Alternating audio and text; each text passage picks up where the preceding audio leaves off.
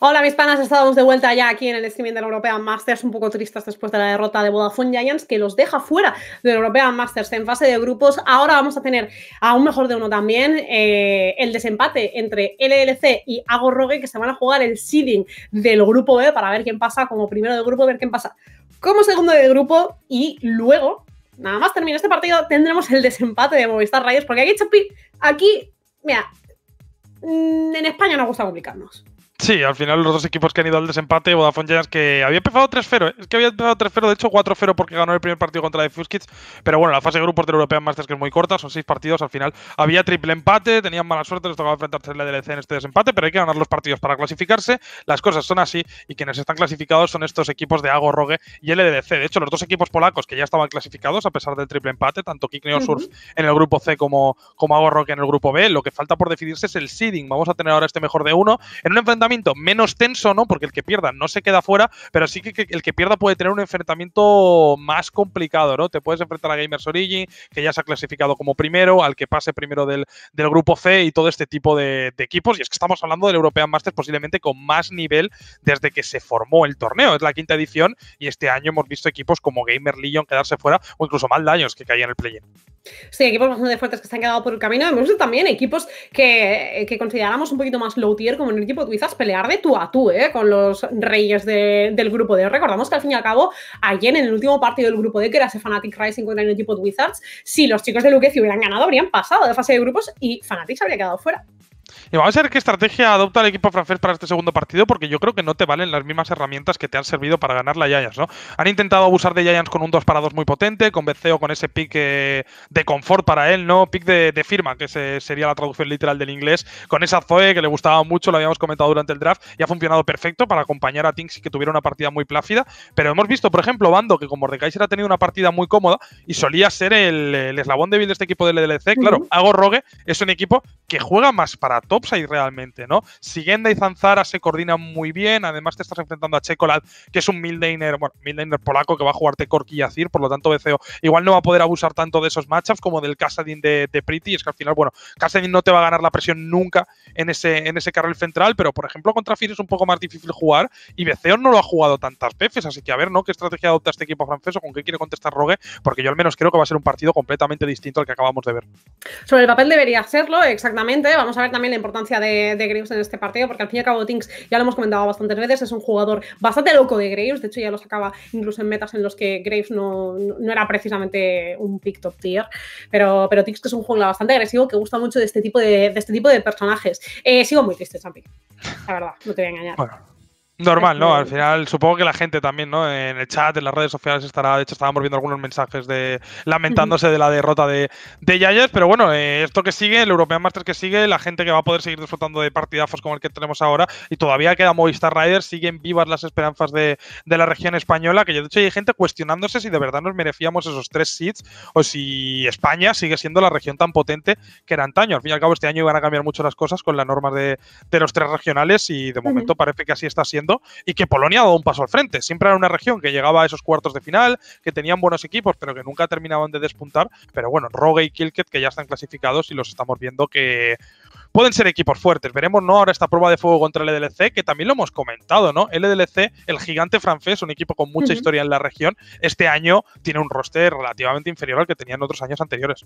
Sí, el LDLC ha tenido, ha tenido rosters más potentes, pero yo creo que el debate de si nos merecíamos o no las, eh, las tres posiciones no tiene sentido. No, es que no, no, es que no es que nos las merecíamos, es que nos las ganamos que es muy diferente en su momento. O sea, esto eh, nos las ganamos. O sea, ganó ya ese año pasado llegando, llegando a las finales. O sea, aquí había un trabajo de, de, de, mina ¿eh? ¿eh? durante los otros European Masters. ¿Qué esta vez hemos caído? Pues bueno, en verano a lo mejor no tenemos tres plazas.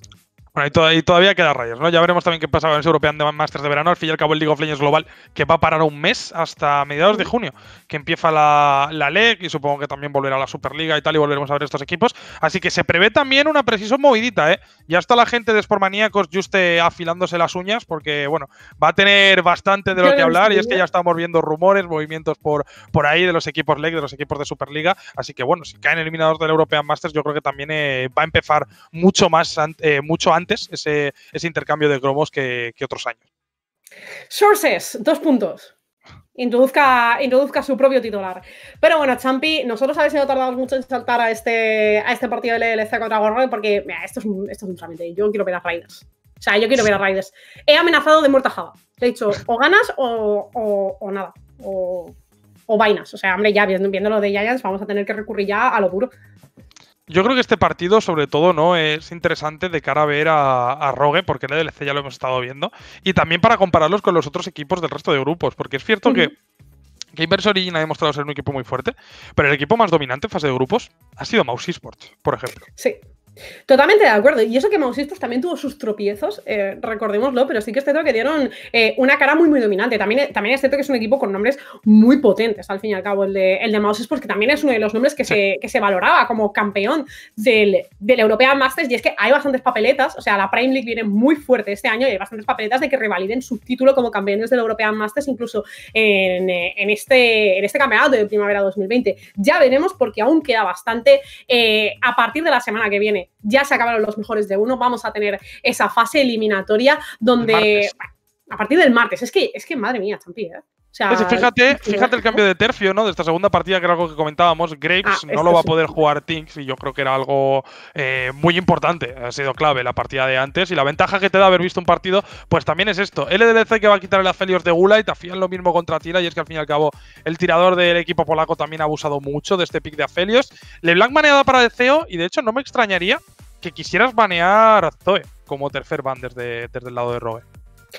No me sorprendería, la verdad, o como mínimo tener una estrategia para jugar en contra de la Zoe. Lo que no puedes permitirte es que te hagan lo mismo que le han hecho a Vodafone Giants, que es invaderte la jungla desde el minuto uno de partida. O sea, no puedes permitir que esa Zoe vaya haciendo lo que le apetece. Vemos el ban set aquí por parte del LLC, que también se quita de la Felios, al igual que hacían en su partida contra Vodafone Giants. Y ahora desde el lado rojo, no sé si vas a querer asegurarte eh, un pique de confort para BCO eh, lo más rápidamente posible o cederle el counter pick, de hecho, tu mid lane. Depende de si banean Zoe aquí o no. Si no banean Zoe, la querrán piquear muy pronto y jugar alrededor de esos. Si banean Zoe, supongo que sí que verán a que, va a querer jugar a Gorrogue. Así que bueno, tres segundos para decidir el ban del equipo polaco. Ahí está la Zoe, que no la va a poder jugar BCO esta partida. Y el EDLC, que tiene que decidir si banean el Trundle para que no lo juegue Zanzara o simplemente ignorar directamente ese pick, porque al fin y al cabo hemos visto que Zanzara es un jugador que puede jugar muchas cosas. Que es verdad que en Polonia ha jugado prácticamente solo Sejuani, pero el otro día, por ejemplo, sacó la Poppy para ganarle al equipo de Vodafone Giants. Sí, una Poppy que también es un pick que ha tenido muchísima importancia ¿eh? en este European Masters. Aparece como en los momentos de crisis, ¿no? Eh, y siempre suele salvar la papeleta. Pero ya estamos viendo que Agorrogue el partido de antes lo ha visto, ¿eh, Champi? El partido de antes lo ha visto porque el Grace y la Zoe se van a su casa a pensar en lo que han hecho. Sí, además hablábamos también de que el partido va a ser distinto porque Rogue querría jugar para la top lane y el personaje que te indica que vas a querer jugar para la top lane es esta Sena. La vas a acompañar seguramente de Tankens o incluso de otra cosa si la vas a poder ver. Y Beceo que va directamente con todo. Sindra se ha quedado abierta. Sabe que si no la piquea pronto va a ser seguramente el siguiente ban del equipo polaco, así que ha decidido piquearla aquí. Ahí está, se quedan con la Sinda, Sinda que al fin y al cabo no suele pasar, ¿eh? muchas, muchas rotaciones del draft eh, intacta. Veremos también si Agorrogue decide combinar la escena del Tamken, se lo aseguran ya rápida, rápidamente, o la acompañan de otra pareja de baile un poquito más, eh, más inusual. LLC también se asegura el Trundle, Champi. Al fin, eh, al fin y al cabo, un personaje que ya lo hemos comentado muchas veces, que también ha cobrado muchísima importancia, de hecho de la mano, ¿no? Con el, con el Grace, quizá el Trundle subió algo antes, y aparece ese Maokai a Cir que le echaba mucho de menos, en la partida de antes, Champi. Sí, Checolad que solo juega a Cir y Evidentemente juega más personajes, pero contra esta Sindra vas a querer poder pelear la presión, vas a querer sacar esa ventaja de rango con Azir y luego contar con la baza del escalado. Rogue de momento buscando el draft que esperábamos que piquearan. Esto va a ser un Tankens prácticamente seguro. Posiblemente piqueen a lo mejor un Maokai, incluso un Orn que se ha quedado abierto, pero yo creo que vas a querer jugar para Toy. Entonces, ese Maokai y ese Orn no deberían de aparecer en el draft de Agorrogue, teniendo en cuenta que enfrente vas a tener un Trundle. Yo cerraría con Tankens, la verdad. Te quedas con el tanquete, yo creo que te quedas muy muy bien, ¿no? Te aseguras poder jugar para ese cara inferior. Ojo el Atrox, ¿eh? Vale, al menos no es Orni Maokai, ¿no? Que es algo que también estábamos comentando. El problema de este Atrox es que no lo flexeas. Ya, no puedes jugar con la baza de, ay, será medio, tal. No, ese, ese Atrox va a ser para, para este 100%, pero que reafirma lo que tú decías, ¿no? Que al fin y al cabo Agorreo va a querer jugar para esa calle superior porque lo repetimos. El eslabón débil del ELC es ese bando, ¿no? Que ha sido de los más abusados y en general el jugador que, bueno, que menor rendimiento, ¿no? Ha estado dando del equipo, del equipo francés. Aparece es real que podría terminar en manos de Hades, Champi. Es real que al fin y al cabo dices, bueno, voy a tener línea gratis porque voy a estar en contra de, una escena, eh, escalaré y me convertiré en un bicho. Banea Niven, que lo jugaba el otro día, lo jugaba el otro día Riders y está pareciendo como counter pick de Trundle cuando quieres jugar con posiciones de quiteo, pero sobre todo funciona muy bien con, con ese Aphelios o con un tirador que no sea Sena. Lo bueno para Gorrogue es que aunque no tuvieran un tirador que no fuera Sena, sí que tienen a la Cira. Entonces podría haber funcionado realmente Iber con este Afir. Aún así, generalmente no es un pick que me entusiasme. Hace bien a Gorrogue aquí baneando Yumi porque es un personaje que podría haber acompañado a este Real. Y es que lo hemos visto en Leg durante todo el inicio de los playoffs. El principal counter a Sena Tankens solía ser F-Real Yumi. Yo creo que es por eso también por lo que hago Rogue no ha querido piquear el Tankens tan pronto, ¿no? Porque ha aparecido ese Real, tienes que banear Yumi y si hubieras pillado Tankens, no podrías haber hecho la respuesta de Sena y Cillian, que es lo que solíamos ver, ¿no? Que, lo sacó, si no me equivoco, fue Fnatic contra Origen y luego todo el resto de equipos empezaron a imitarlo porque funcionó muy bien. Panea Norn, bando que va a tener que jugar lado débil prácticamente seguro esta partida contra Atrox y posiblemente Orn es uno de los mejores personajes que funcione ahí.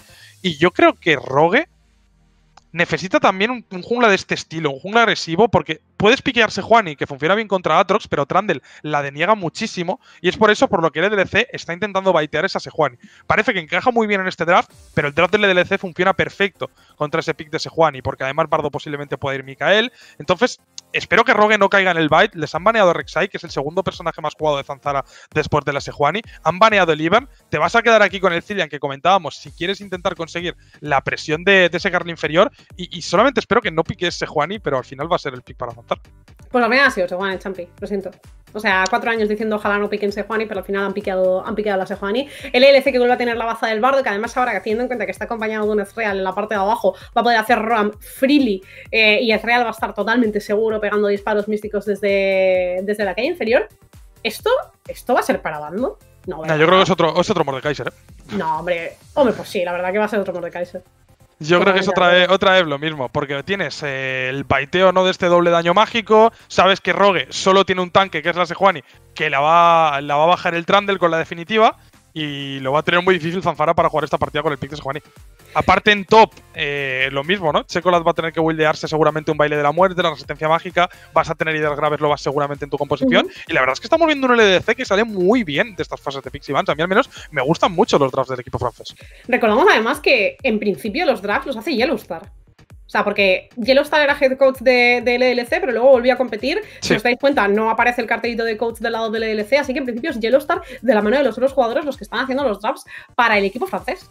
Sí, Yellowstar, que antes de jugar, ¿no? Lo decías tú, era el entrenador de este equipo, después de retirarse, y puso un tweet, dijo mil faps y vuelvo a competir. Y al final fue así. Poco faps eh, Yellowstar es eso, ¿eh? Cuando, cuando creo que perdieron a Steelback, ¿no? Si no me equivoco, era el, support de este equipo del LDC creo que sí, ¿no? Steelback junto con Comp, si no me mm. equivoco, que luego acabaron siendo la, la de Vitality a final de temporada. Y no han querido buscar otro entrenador, salió en blanco el, el, hueco del coach. Y el coach de este Agorrogue, que es Sharks, ¿eh? viejo conocido de la escena española, estuvo en Giants, si no me equivoco, y estuvo también en Heretics, en esa última temporada del equipo de G2 Heretics en, en Superliga Orange. Y vamos directamente con la partida, ¿no? Enfrentamiento entre el equipo polaco de Agorrogue y el EDLC, con ambos ya clasificados para cuartos de final, pero lo que se decide es el primer sin ha vuelto a competir Yellowstar, volví a Tabasco también después de un montón de, tiempo de retiro, eh, volvía también Forgiven eh, a la LEC esta temporada, Champi, ¿quién más va a volver? Pues no sé, quién sabe, ¿no? Eh, hay rumores también de, vueltas a Superliga de algún jugador veterano que estuvo en la, en la LCS. Veremos, ¿no? Si son verdad o no, pero, pero puede haber sorpresas también en, en Superliga.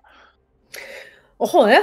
Ahora estoy hype de Champi, yo esto no sé nada, ¿eh? Me lo tienes que, me lo tienes que, contar, ¿no? Me mandas un WhatsApp con, todos los rumores. Hombre, se, puede, se ha comentado que Smithy J va a venir a Superliga. Uf, me pone triste porque eso me hace pensar en un hámster que, pasó mejor vida, ¿eh, Champi?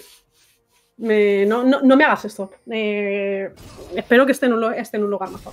Cuidado, aquí eh, recordamos que al final Algo Rogue y LDC se están jugando ahora mismo el seeding del grupo B para ver quién pasa primero del grupo, ver quién pasa como segundo del grupo y diréis, pero, pero esto, esto tampoco, o sea, esto, esto lo tienen que jugar, de verdad. A ver, sí, porque luego hay lamentos. Luego te toca un Gamers Origin en los cuartos de final y dices, pues a lo mejor si no me hubiera tocado Gamers Origin y me hubiera tocado eh, otro equipo, me hubiera tocado Fnatic Racing, a lo mejor sí que pasaba.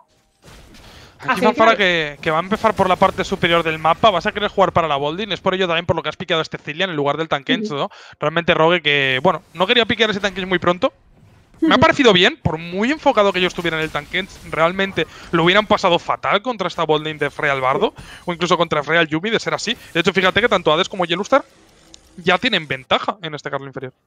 Sí, efectivamente, que de todas maneras Woolite está bastante ok con esto porque eres una Sena y tú lo que quieres es escalar y alargar la partida para, para recoger todas las almas posibles pero puede llegar a ser muy incómodo realmente para Ago Rogue eh, que se libere ¿no? la bonding de, de LLC. Ezreal debería estar técnicamente a salvo porque es un Ezreal, tiene movilidad, tiene muchísimo rango con los disparos místicos para farmear desde la seguridad, pero el problema es que se te libere Yellowstar. Y ya está Tinks Champi haciendo la de antes, Zanzara se puede ir para el pozo, tiene que utilizar el destello. Tinks Tinks hoy está muy enchufado, ¿eh? Me ha gustado muchísimo el puffing de Tinks. De hecho, fíjate ese ward que hay colocado, que va a ver cómo mm. Fanzara intenta invadir el bufo rojo enemigo. De hecho, se va a ir para base aquí en este arbusto, porque no hay bufo rojo realmente. Entonces, Tinks empezaba en su bufo rojo y iba, directamente al bufo rojo de la parte inferior de Fanzara y Beceo conseguía la prioridad de medio para rotar, apoyarle. Había un guardián colocado en picuchillos y ahora se iba a mover precisamente para ver si encontraba a Fanzara, que ha vaqueado en el arbusto. Muy bien planteado early game por parte de DDC que no para de demostrarnos, ¿no? Que es un equipo con las ideas claras. Draftean una composición, leen las win conditions y juegan alrededor de ellas desde el minuto uno. No esperan a que la partida esté a su favor para poder jugar alrededor de los puntos fuertes de su comp, sino que directamente tratan ellos de generarlo.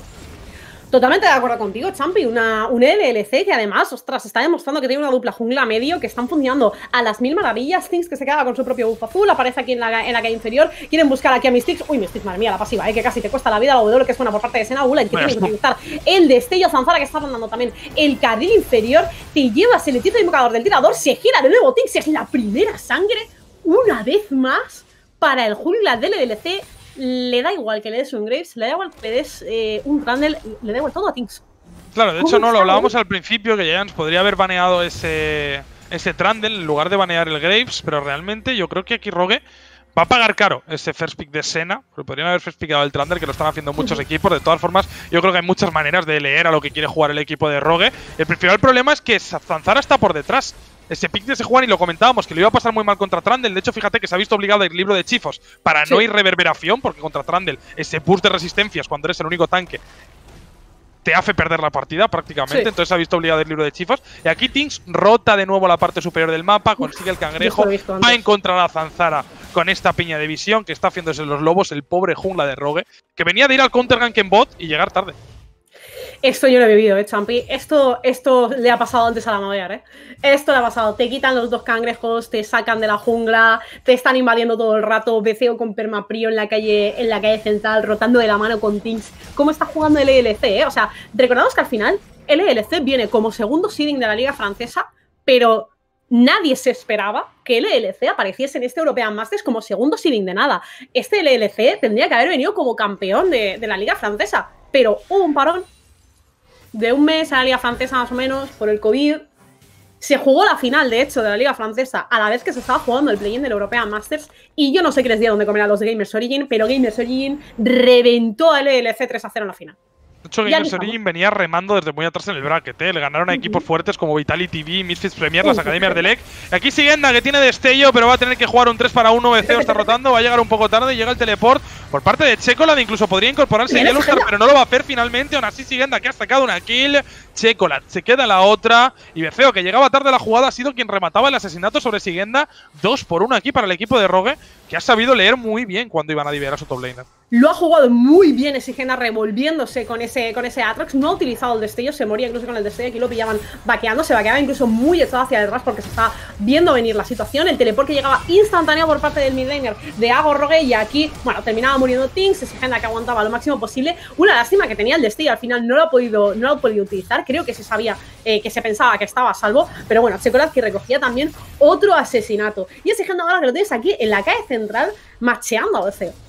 Y qué bien funciona ese pick de Mordekaiser para gestionar ese tipo de dives. ¿eh? Te atrae con la garra, luego tiene el escudo también para tanquear en caso de hacerle falta y al final se ha acabado mm. muriendo porque llegaba Chekolad con el teleport a la jugada, si no me equivoco.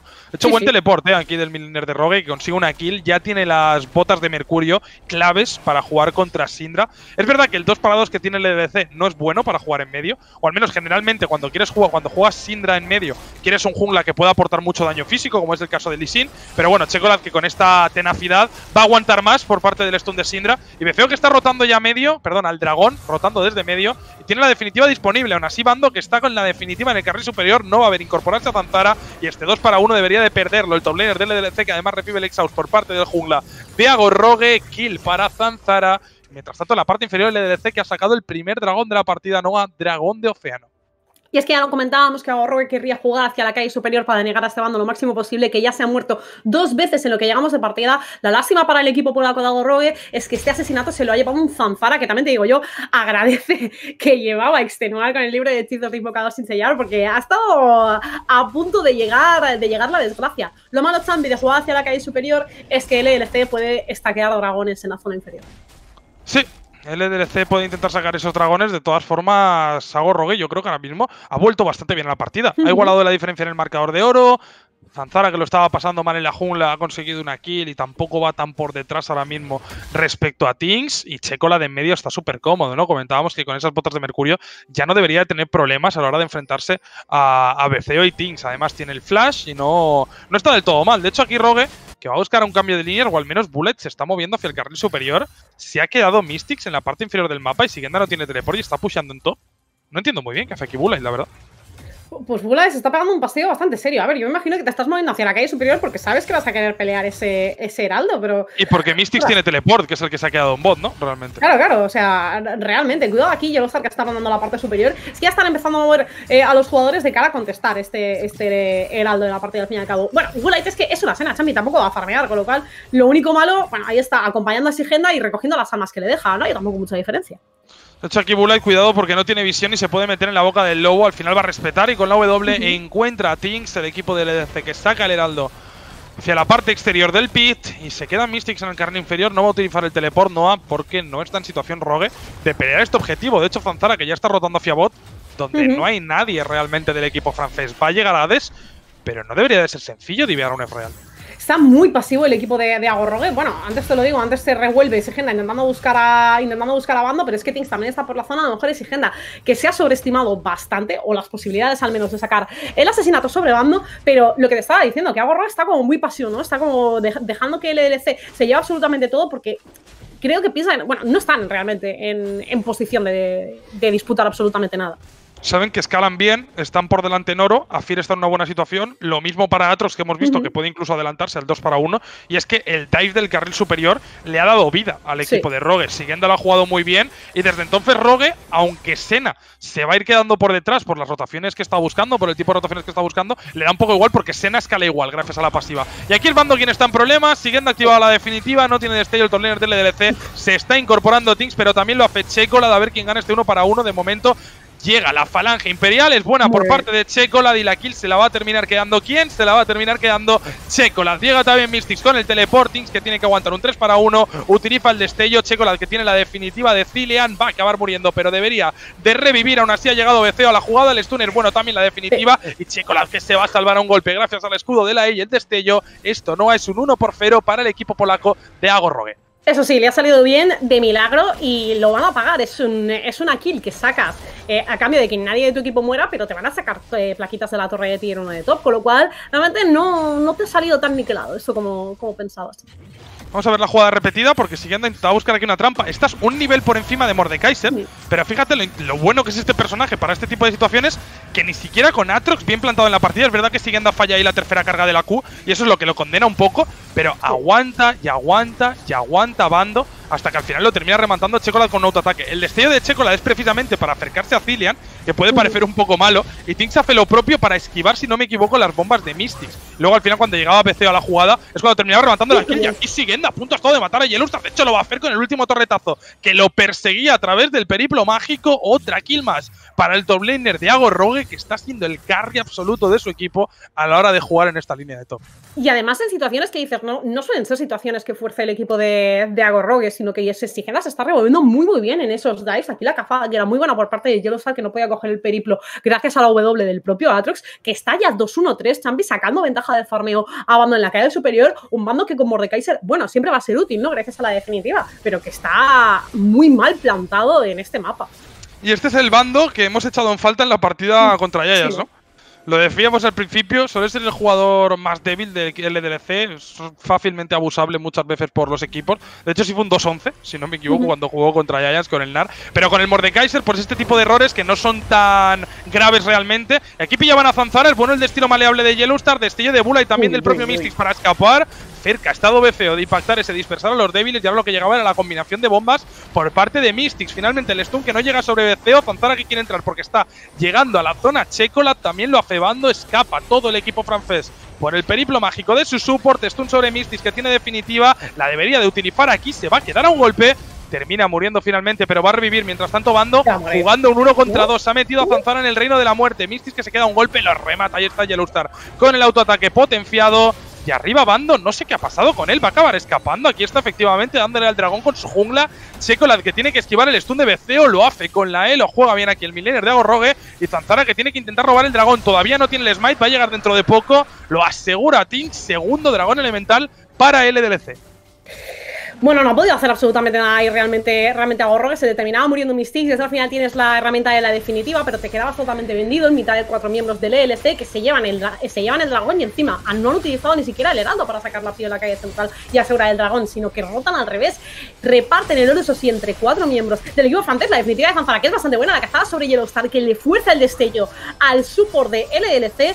La torre que se queda muy tocada a Champi, pero al fin y al cabo, LLC que no ha podido sacar esta primera estructura en la calle central está siendo un duelo muy, muy reñido. Está siendo un duelo muy reñido, pero algo Rogue cuenta con la bafa del escalado de Safir, que lleva 2-0, y tienen en la sidelane un Sigenda que va volando. De hecho, van a desaparecer las placas, no hay nadie defendiendo bot, y Atrox debería de castigar esa torre del Carly inferior. De hecho, creo que va a ser BCO quien vaya a bot a defender porque Hades se había quedado en medio. Así que Agorro está relativamente bien plantado en el mapa. De hecho, va a dejar rebotar la oleada Sigenda contra esa torre del Carl inferior porque no sabe realmente por dónde se está moviendo el equipo del LDC. Y es cierto que el equipo francés se ha llevado varios objetivos, se han llevado Heraldos, se han llevado los dos primeros dragones, pero no han conseguido llevarse la primera torre todavía y la grieta es de nube, que tampoco es el mejor alma del juego yo creo que tienen que apretar un poquito más y no están siendo capaces de hacerlo, sobre todo jugar alrededor de la Sindra, que no va nada mal en la partida. Ya tiene el eco de Luden terminado y estamos viendo que puede hacer bastante daño y ser muy bueno en las teamfights con esos stuns. Mystics, por ejemplo, ha sabido lo que es, ¿no? Ser borrado por parte de Sindra. Sí, exactamente. Y eso que Mystics tenía buenos reflejos, ¿no? Ahí se tiraba la definitiva mitad de, las cargas de las bolas de la definitiva de, eh, de BCO, pero aún así no terminaba salvando la vida. Y es que al final, el hecho de que el LDC no haya sido capaz de abrir todavía el anillo exterior de las torretas les impide seguir apretándole las tuercas a una Gorrogue que con las torres exteriores todavía intactas, o sea, pueden seguir haciendo la bola y pueden seguir escalando la partida, que es lo que le ha faltado, de hecho, al equipo de Vodafone Giants, que veía como sus estructuras se derrumbaban muy, muy rápido en la partida. Recordamos que era minuto 20 y les estaban tirando un inhibidor en la, en la parte de arriba. Se te hace mucho más complicado el escalado en esa situación y ahora mismo Gorro es como, bueno, podemos seguir limpiando oleadas bajo de torre, chavales, estamos de locos. A y bueno, me lo voy rulando de línea en línea, no pasa nada. Si al final, bueno, la Sena se lo quiere recoger almas, ¿no? Que gana, gana muy fácil, ¿eh? La calle lateral LDC aquí. De hecho, creo que, creo que quieren tradear el Heraldo y quieren tradear topside por, por botside. Pero está Bando defendiendo esa torre. Mordekaiser puede aguantar mucho tiempo al 1 para 2. Rogue no debería de regalar este heraldo. De hecho, ya está siguiendo por la zona. Lo tiene que abandonar el LDC. Beceo debería de incorporarse a la jugada. No lo quieren regalar, ¿eh? Pero fíjate, Hades dando la vuelta. Zanzara muy lejos del heraldo. El heraldo a menos de 1000 de vida. Lo va a terminar asegurando Rogue mientras Zanzara saltaba sobre Hades. Ha llegado tarde, Rogue a la jugada. Eso sí, Checolat se va a terminar quedando con la torre de bota. Aquí llegaba la definitiva por parte de Yellowstar, capando a Bullite. Es mejor todavía el pilar sobre el que ha estuneado Bardo al tirador de Agor Rogue y Beceo acaba llevándose la kill con el dispersar a los débiles. Vaya combo, vaya coordinación del equipo francés. Ahora no, a que utiliza el Heraldo para intentar llevarse esa torre de medio. Mientras tanto, Checolat presionando en bot. Tiene teleporte el midlaner polaco. Fantara que no puede salir del pit de Lobo, o al menos Beceo no se lo va a permitir. Sigue presionando el EDLC con el Heraldo después de tirar la primera torre del carril central. Va a pegar un segundo cabezazo aquí el Heraldo de la grieta. Y el EDLC ahora sí por fin ha conseguido cierta ventaja de oro. Ahí está, efectivamente, cuidado porque la cazada sobre Yellowstar podía ser bastante buena. Exigenda sigue la una partida buenísima, la definitiva que peinaba Yellowstar, que igualmente se ve para el pozo. Zanzara es el que se lleva el asesinato, 2-0 para el jungla, bando totalmente encerrado y Zanzara que se lleva la bola. Siguen buscando Chocolate que la ha hecho de locos, Things que se queda enterradísimo, pero a lo mejor el monstruo es él, Exigenda se lleva el tercer asesinato para él, 8-4 en el marcador y sí, la torre de tier 2 de medio me la has dejado tocadísima, pero te ha salido carísimo esto, se llevan tres asesinatos los de Agorrogue y ahora mismo amenazan el tier exterior de la calle central de Sigenda que le está dando la vuelta a Hades, sabes que debería estar a salvo porque al fin y al cabo es un real Sigenda a lo mejor está lidiando por encima de sus posibilidades, ¿eh? también te digo. Realmente lo echas de la zona para que no pueda limpiar esta oleada porque no tiene definitiva y puedes castigar la torre. De todas formas no te la vas a llevar, de hecho está llegando el teleport y es que el DLC quiere hacer exactamente lo mismo que hacía el equipo de Agorrogues, doble el teleport, la bomba de Mystics. Ha sido perfecta, Beceo que podría tener un lío. Y es que siguiendo hace muchísimo daño el dispersar a los débiles que ha estado a punto de salvar la vida del midlaner francés, pero el shutdown se lo va a quedar siguiendo Bando que se queda un golpe también. Destello fallado el autoataque. Le ha dado a Yellow que coloca la definitiva sobre su top laner. Y es finalmente Bullite quien se queda la kill para el equipo de Rogue. Yellow Star jugando el uno contra uno frente a esta escena. Hades lo intenta rematar. Es bueno el sidestep de Gulite para esquivar ese disparo místico de Hades. Sobrevive el conjunto de Rogue. Solo ha muerto Fantara.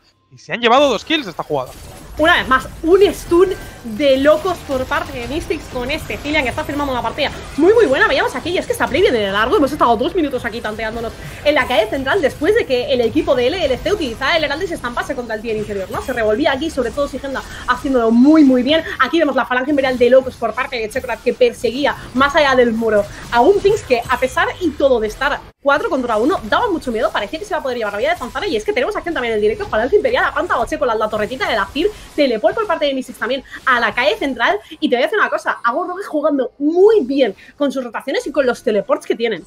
De hecho, el teleport de Checolad en esa jugada es lo que hacía que Rogue pudiera defender la torre de tier 2 y llevarse las kills en esa jugada. Y luego el EDLC intentaba hacer lo mismo, pero Mystics con la doble bomba.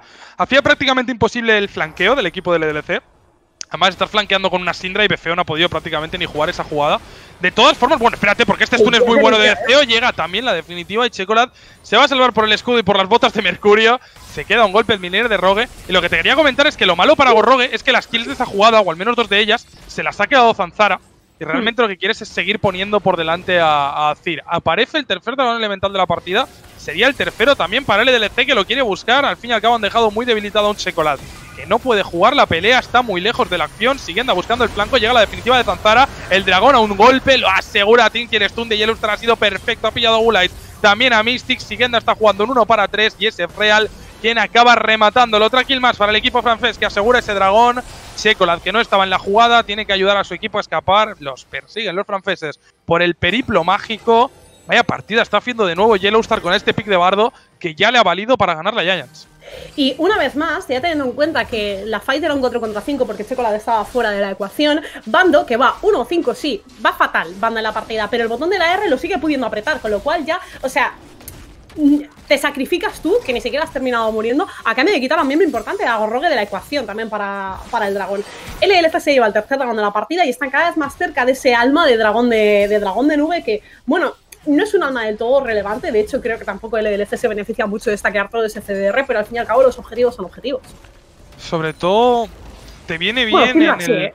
Sí, te viene bien en el bardo realmente, ¿no? Porque puedes entrar después de la iniciación, te viene bien en el, en el Trundle, porque cuando metes el suyo ganas esa velocidad de movimiento, y sobre todo a quien mejor le viene es a Beceo, que con la irrupción de fase y, el alma de nube, después de meter la definitiva, va a poder moverse fácil por la fight para buscar un stun. Pero el equipo de Rogue tiene mucho CC. Muchísimo CC. De hecho, fíjate que Jerustar ya ha ido de Mikael. Y es por eso también por lo que comentábamos, que era bueno el pick de Bardo si estabas intentando baitear a Rogue en ese pick de Sejuani. La composición del EDLC es muy buena para jugar contra Sejuani.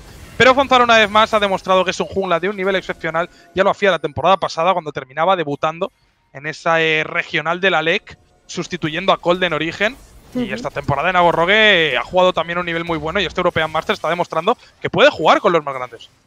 Eso sí, igualmente la, partida no está para nada decidida, no hay nada de diferencia de oro, no hay ni un K a favor de LLC. Estamos a minuto 20 de partida y tienes a Cir súper bien plantado. Y es que Chocolate está ya tocando el tier interior de la parte de arriba, lo tienes ahí encadenado a la Silent. Y Agorrogue sí que es cierto que lo tiene muy complicado para defender esta torre interior de la calle central, pero es una torre realmente que te da igual defenderla porque en realidad ya estaba totalmente, totalmente vendida. Tú lo que quieres es seguir dándole recursos. Es decir, que sí que es cierto que ahora está en una situación peligrosa porque a lo mejor se ha sobreextendido un poco en la calle superior y está teniendo fanzara que cubrirle eh, su retirada en la top lane.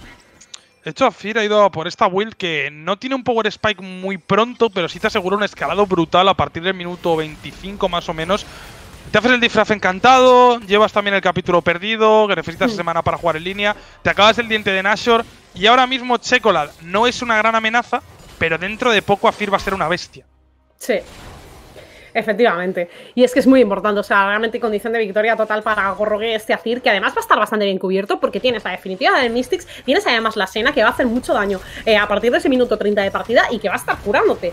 Eh, además, con lo cual estás francamente bien plantado. Tienes destello, tienes además el, el letal tiempo, vas a escalar de locos y esa es la verdadera diferencia entre Agorrogue y el ELC en esta partida. Un Agorrogue Champi que parecía que lo tenía muy complicado, parecía que estaba sufriendo al igual que Vodafone Giant sufría en su partida contra el ELC, pero sí que es cierto que mérito de Sigenda poder revolverse en esos dives y marcar la diferencia y poner de, contra las cuerdas al equipo francés. Sigenda está jugando una partida muy buena, además ya tiene el baile de la muerte terminado. Y ya debería de ganar la sidelane. El equipo de Rogue poco a poco encontrando el power spike de su composición. Va a aparecer de hecho en un minuto el dragón de nube, lo que supondría el alma para el EDLC, lo estábamos comentando. Pero el equipo francés parece que tiene otros planes y es que ya están tanteando la zona del Barón Nashor, ganando la visión por aquí. El cangrejo de Río es dominio del conjunto polaco, así que van a ver el intento del EDLC por mucho que se esfuercen en limpiar el resto de la visión de la jungla.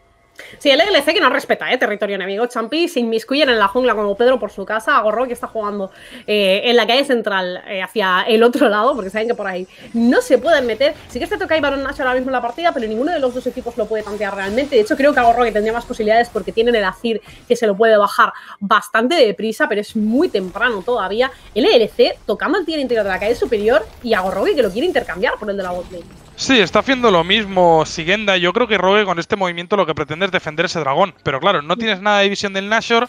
Te estás enfrentando a un bardo, por lo tanto las rotaciones del EDLC van a ser muy rápidas y además tiene el destino maleable para intentar frustrar cualquier intento de objetivo por parte de Rogue. Y está llegando Bando aquí para defender a Sigenda. Sigenda que no ha terminado de tirar esa torre de tier 2 del Carly inferior. Zanzara que buscaba la iniciación sobre Feo, no ha impactado la presión glacial. Vaya, ulti acaba de meter Yellowstar. Han borrado por completo a Zanzara, lo decíamos Noah. El pick de Sejuani no funciona contra el suyo hogar de Trandel. Checo se queda un golpe, la andanada certera que pasa cerquita del midlaner polaco, pero no va a acabar muriendo. Finalmente Checolada aún así tiene que escapar todo el equipo de Agorrogue. Zanzara se exponía demasiado para buscar la presión glacial sobre Deceo y lo ha terminado pagando con su vida. Aparece el dragón de nube para el EDC y no hay jungla del lado polaco. Es alma, la suerte que tiene Agorrogue es que es un alma de dragón de nube, con lo cual no está tan mal como si fuera alma de, dragón infernal. Cuidado aquí con la cazada sobre Yellowstar. Yellowstar que tiene que quemar el destello, el stun es perfecto por parte de Deceo. Bullet que se queda clavado en el sitio. Exigente que tira la definitiva, le da absolutamente igual todo. La ultimate de Bullet que ciega la vida del mid laner del equipo francés Champi, pero LDLC ya se ha llevado el dragón de nube, el cuarto para ellos. No es un alma especialmente relevante, sí que se ha ciertas ventajas que pueden ser un poco molestas, pero cuidado aquí, el stun es bueno sobre Bando que está en el reino de las sombras con Mystics, Champi está encerradísimo, consigue salir la falange imperial que es bastante buena, Checo la otro de la falange imperial, el Satán que se lo termina llevando, Hades que sigue pegando la doble, que es para Real Yellowstar, que salva la vida a uno de vida, Fanfara que se podría ir también para el pozo, puede ser la triple para el tirador, ahí está, la recoge Real, exigente que intenta hacer el milagro, se cura, pero no lo suficiente, Bando que se lleva la kill, esto es un ace para el DLC, que menuda machada que está dando en el día de hoy.